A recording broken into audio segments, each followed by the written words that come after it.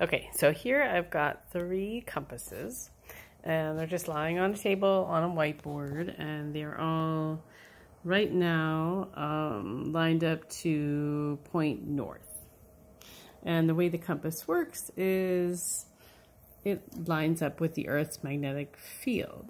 So right now, and the way to use it is if you're trying to find um, north, you want to turn the compass until the part that mark that says N is um, aligning with the red arrow of the compass. So that's what I just did.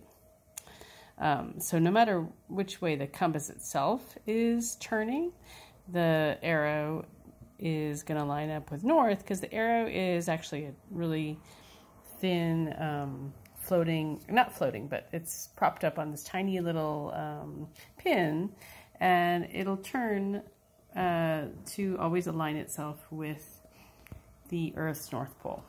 Um, but then if you bring that compass in contact with a magnet that's stronger, well, not stronger, but closer, you can see what happens.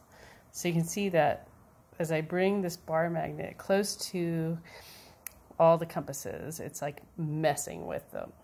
And that's because the north part or the red part of the line is going to repel the north part of the um, bar magnet and it's going to be attracted to the south pole of the bar magnet. So here we see that, but then as soon as I put the north pole uh, towards that one, it flips around, okay? So north attracts south, north repels north. And that's how a compass